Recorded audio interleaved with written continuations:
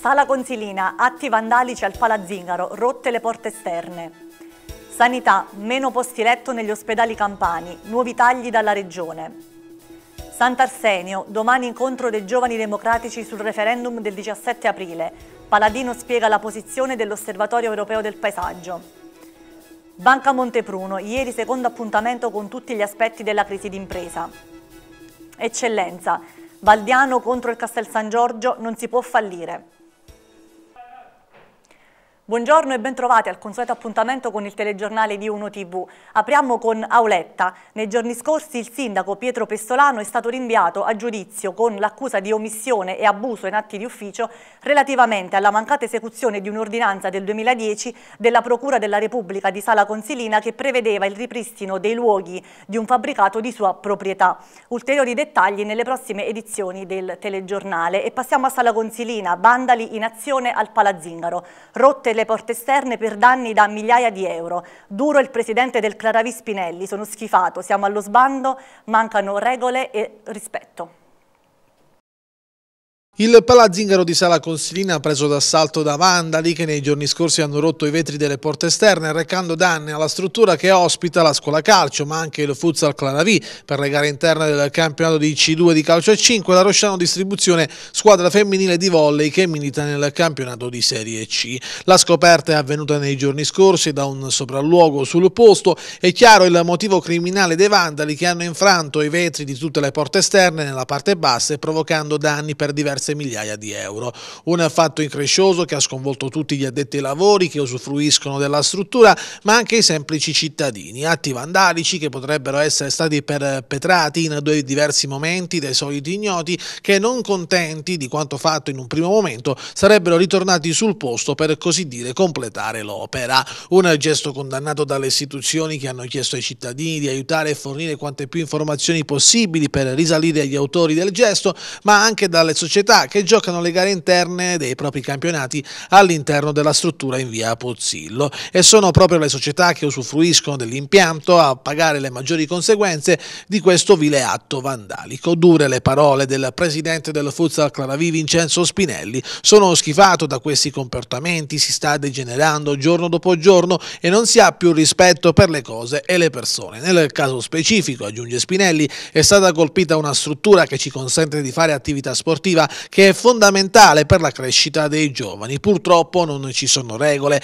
manca ogni forma di rispetto. Per questo conclude il numero uno del Futsal Claravi, come società dal prossimo anno, con la creazione di una formazione juniores, vogliamo avvicinarci ai giovani, avvicinarli allo sport e alla cultura etica sportiva nel tentativo di diffondere i principi e i valori sani che possono contribuire alla crescita umana della società civile.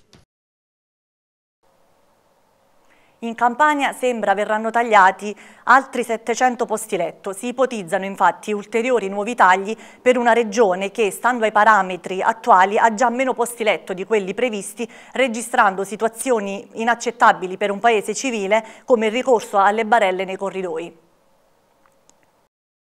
La Campania è la regione con la popolazione più giovane d'Italia ed è per questo motivo che sembra venga penalizzata. Infatti il Ministro della Salute vuole tagliare all'incirca 800 posti letto basando la decisione sul criterio dell'anzianità della popolazione.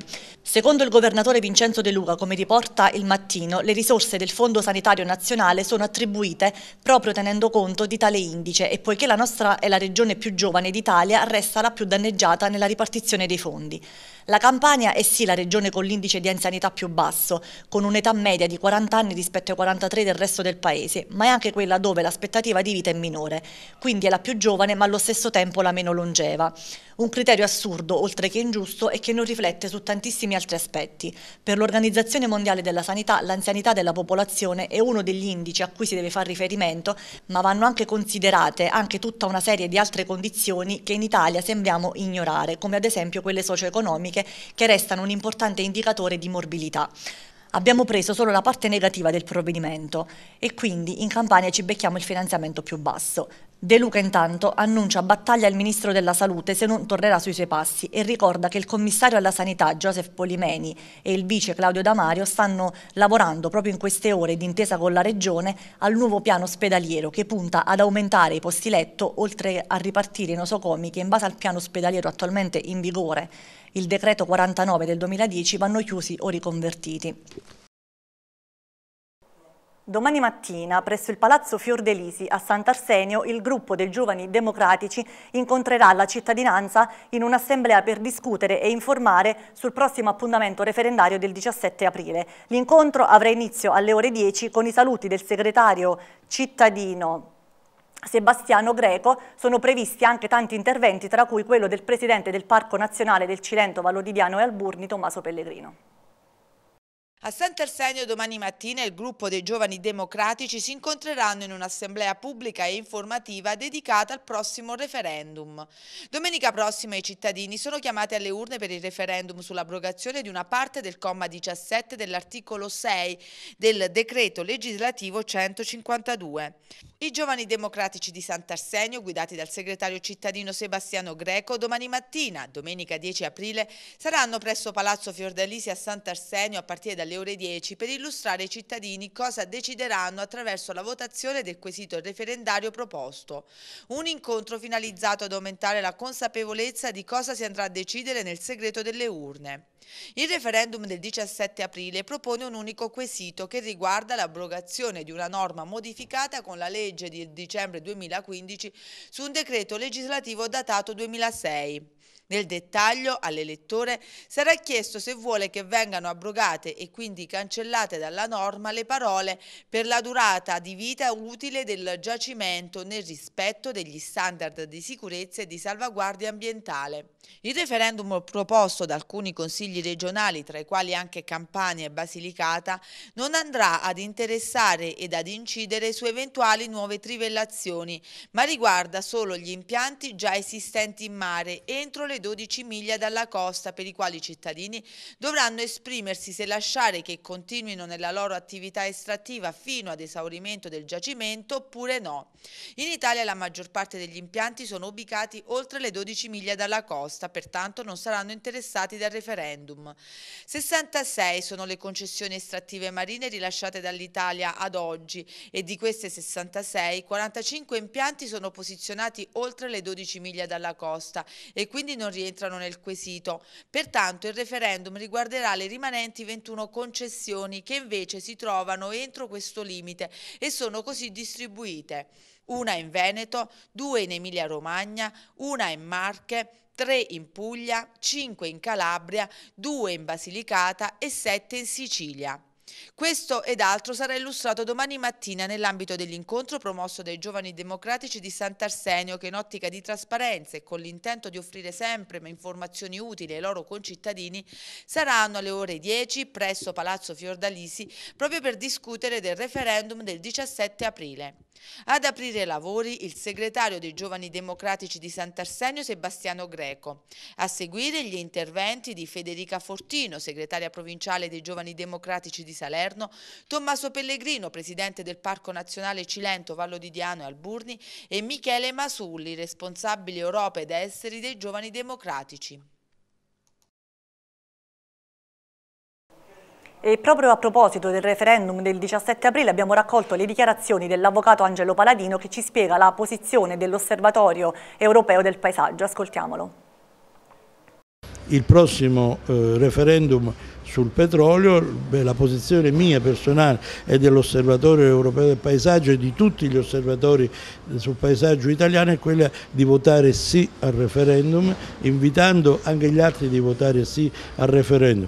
Bisogna dire che l'estrazione deve essere a termine, quando la concessione è finita non si può rinnovare il mondo va verso fonti alternative al petrolio. In prospettiva al 2025 noi dobbiamo aver registrato una riduzione del consumo di petrolio, quindi eh, eh, pensare che si possa andare all'infinito a sfruttare il petrolio sarebbe controtendenza, quindi dobbiamo metterci in linea col mondo e con l'Europa, con quello che è stato deciso a Parigi appena qualche mese fa e quindi dire di no a questa fonte fossile non deturpare il paesaggio, non deturpare il patrimonio che è intorno a noi, sviluppare le cose che sono in questo territorio, l'agricoltura va rilanciata, abbiamo bisogno di più agricoltura, abbiamo bisogno di più turismo e meno, e meno, petrolio, per la salute dei cittadini. Io dico questo anche nell'interesse dei miei nipoti. È un sano egoismo quello che vi sto trasmettendo, ma spero che tutti i nonni e i padri come me seguano il mio esempio e vadano a votare sì il 17 eh, di aprile. È stata confermata la data delle prossime elezioni amministrative per il 5 giugno prossimo. È arrivata infatti la firma eh, sul decreto da parte del Ministro dell'Interno Angelino Alfano. Il ministro dell'Interno Angelino Alfano ha firmato ieri il decreto con cui viene fissata domenica 5 aprile la data per le prossime elezioni amministrative che coinvolgeranno anche quattro comuni del Vallo di Diano, quali Montesano sulla Marcellana, Padula, Monte San Giacomo e Teggiano, quest'ultimo per motivi diversi dalla scadenza naturale del mandato. Anche nel Golfo di Policastro saranno chiamate alle urne due comuni, quali Santa Marina, al momento guidato da Dionigi Fortunato, e Vibonati con l'uscente Massimo Marcheggiani. Resta fuori, come noto, il comune di Buonabitacolo che nelle scorse settimane, poco oltre i termini riconosciuti per legge per poter andare alle urne, per sopravvenute dimissioni dei consiglieri ha dato inizio alla fase di commissariamento e dovrà attendere a questo punto la prossima tornata elettorale della primavera del 2017. Oltre ai comuni della provincia di Salerno, il prossimo 5 giugno saranno chiamati a votare per il rinnovo dei consigli comunali anche a Salerno e nel capoluogo di regione Napoli. Ieri sera la firma del decreto da parte del Ministro dell'Interno che aveva già precedentemente anticipato la probabile data e su cui attendeva solo l'ok del Premier Matteo Renzi. Data quindi confermata e ufficializzata con domenica 5 giugno fissate le votazioni e nei comuni per i quali è previsto il ballottaggio, qualora necessario, si ritornerà alle urne il 19 giugno successivo. Non sono ancora stati resi noti modalità e giorni dedicati al voto che si suppone dovrebbero essere a breve pubblicati. Con l'ufficializzazione della data parte quindi il fermento per la preparazione delle liste con il termine ultimo per la presentazione che dovrebbe essere fissato ai primissimi giorni del prossimo mese. Nei comuni a scadenza di mandato le attività erano già da tempo partite. Nel Vallo di Diano le ultime vicissitudini politiche hanno portato a distanza di un mese circa l'uno dall'altro alla caduta delle due amministrazioni amministrazioni, entrambe per sopravvenuta dimissione della maggioranza dei consiglieri. Teggiano in extremis è riuscito, sembra, a rientrare nella prossima tornata elettorale. Discorso ben diverso per Buon Abitacolo, che invece è costretto ad un lungo periodo di commissariamento.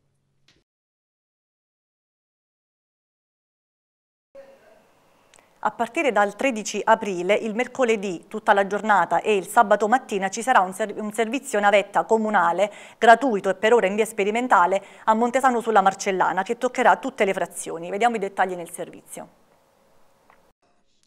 Sarà gratuito almeno nella fase sperimentale il servizio navetta comunale a Montesano sulla Marcellana. Il servizio previsto da due delibere di giunta rispettivamente dello scorso 17 e 30 marzo prenderà il via mercoledì 13 aprile e toccherà tutte le frazioni di Montesano. Il mercoledì ci saranno le corse sia al mattino che al pomeriggio e il sabato solo al mattino. Dall'ex scuola nella frazione Perrillo si partirà alla mattina alle 8 e dopo aver toccato le frazioni di Tardiano, Magorno, Capoluogo, Prato Comune, Rena Bianca, Tempa, Lalandra, si giungerà a Montesano Scalo alle 9.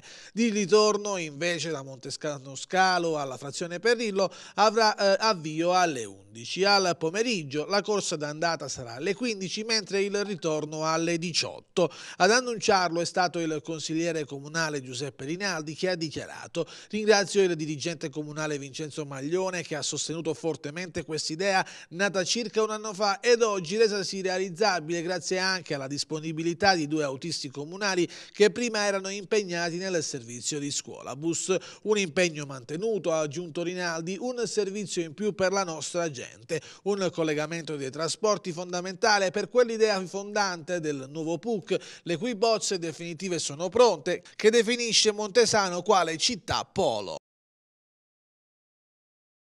Bentornati in studio. Il fallimento e l'insolvenza sono stati i temi affrontati ieri nel secondo appuntamento del progetto formativo Tutti gli aspetti della crisi d'impresa organizzato dalla Banca Montepruno. Secondo appuntamento questo pomeriggio presso la Banca Montepruno per parlare di crisi di impresa, argomento all'ordine del giorno, la crisi di impresa appunto, il fallimento e l'insolvenza, un tema importante come ha sottolineato ai nostri microfoni il direttore generale della Banca Montepruno Michele Albanese. Beh, oggi si parla, come nelle altre due sedute, di crisi d'impresa. Parlare oggi di crisi d'impresa è veramente un'impresa.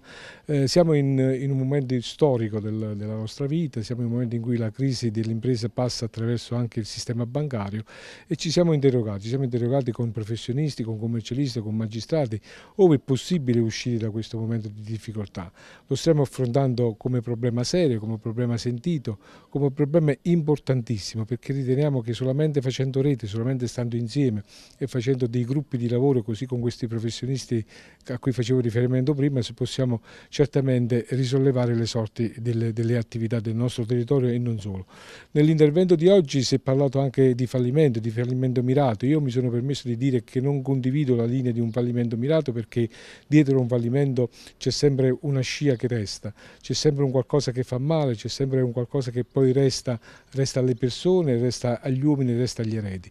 Per cui bisogna a tutti i modi cercare di scongiurare quelle che sono le insolvenze. Come? Cercando di, di fare ognuno la propria parte. La banca la deve fare la propria parte capendo che siamo in un momento di difficoltà e deve cercare di stare vicina, anche rischiando, dove possibile, con le imprese. Il, I consulenti debbono capire che è arrivato il momento di fare chiarezza, di fare trasparenza, di, di essere d'intesa con la banca i promotori del, della salvaguardia delle imprese stesse. È un momento, come dicevamo, un momento molto, molto delicato, eh, però ecco, tutti insieme possiamo certamente risolvere. Ci interroghiamo con questi compegni, con queste lezioni di persone che sono all'altezza della situazione. Bene, continuiamo così perché ritengo che siamo sulla buona strada. Anche la numerosa platea qua presente stasera dimostra quanto è attento il problema. Eh, dobbiamo, come dicevo poc'anzi, eh, fare attenzione che tutto ciò non, non si verificasse, lo possiamo fare solamente stando con i piedi per terra, aiutandoci e facendo del bene dove possibile. Tre progetti per dar vita ad un sistema di trasporto integrato per collegare le città del centro-nord con il Cilento e il metro del mare invece per mettere in relazione tutta la fascia costiera. Per l'assessore Matera una grande opportunità per valorizzare l'area sud della Campania. Arrivano nuovi collegamenti via terra e via mare per raggiungere il Cilento. È in sintesi l'obiettivo dei bandi del progetto Cilento Blue Club promosso dalla Regione Campania e finanziato con risorse proprie e con fondi provenienti dal MIBACT, che si propone di dare vita ad un sistema integrato di trasporto con la mobilità su ferro, gomme e via mare per collegare le città del centro-nord Italia, Torino, Milano, Bologna, Firenze e Roma con il Cilento. L'EPT, soggetto attuatore del progetto, ha avviato le procedure amministrative. Si tratta, ha dichiarato l'assessore regionale al turismo Corrado Matera, di una grande opportunità per valorizzare le potenzialità dell'area sud della Campania. Con Cilento Blue Club si rilanciano le tradizioni, i sapori, l'ospitalità, il mare e la storia per attrarre i turisti che da quest'anno potranno raggiungere con maggiore facilità e comfort le località del Cilento. Dal punto di vista strutturale l'intervento si articolerà su tre linee principali. In primo luogo la mobilità su ferro attraverso un incremento dei collegamenti con l'alta velocità più il bus che saranno attivati dal 1 giugno al 30 settembre 2016. Nello stesso periodo è prevista l'attivazione anche di ulteriori treni regionali di Trenitalia sulla tratta Napoli-Salerno fino a Sapri, in coincidenza con i treni ad alta velocità provenienti dalle città del centro-nord Italia. A tutto questo si affiancheranno i trasporti via mare per unire la fascia costiera cilentana con le città di Napoli e Salerno, la costa malfitana e l'isola di Capri. In questo caso i collegamenti marittimi riguarderanno il periodo dal 1 luglio al 31 agosto. Domani terzo e ultimo appuntamento con la rassegna Leggermente. Gli attori della Cantina delle Arti interpreteranno l'opera Cari Mostri di Stefano Benni. Continua la serie di appuntamenti con leggermente letture interpretate, una tazza di tè, la rassegna organizzata dalla Cantina delle Arti e l'associazione Volta Pagina. Domani sera è in programma il terzo e ultimo appuntamento, nel corso del quale sarà letta l'opera Cari Mostri di Stefano Benni. Alle ore 18 presso la sede in via Luigi Sturzo a Sala Consilina gli spettatori saranno accolti da una tazza di tè e biscottini per poter meglio gustare il pomeriggio letterario. Una iniziativa che ha raccolto un ottimo successo e un crescente interesse, facendo registrare nei primi due appuntamenti il tutto esaurito e sarà certamente così anche nella giornata di domani. Nel primo appuntamento con la rassegna gli attori della Cantina delle Arti hanno interpretato Il Piccolo Principe, l'opera di Antoine de Saint-Exupéry. Successivamente, nel secondo appuntamento a marzo, è stata la volta de Il Paese dei Diari di Mario Perrotta. Domani sera, nell'ultima serata, gli attori della Cantina delle Arti interpreteranno il libro Cari Mostri di Stefano Benni, considerato il padrone dell'umorismo acuto. Penultimo turno di stagione regolare per il Valdiano, domani contro il Castel San Giorgio, un match importante per non compromettere i play-out. Vigilia di campionato per il Valdiano che domani pomeriggio allo stadio Vertucci di Teggiano è atteso da un importante scontro diretto contro il Castel San Giorgio. Una gara da non fallire per la squadra della coppia Cammarotta-Manfredini che in classifica ha solo una lunghezza di vantaggio sugli avversari di giornata. Una vittoria sarebbe di fondamentale importanza anche per ipotecare nella griglia play-out lo scontro diretto in casa per la salvezza che sarebbe a questo punto sempre contro il Castel San Giorgio.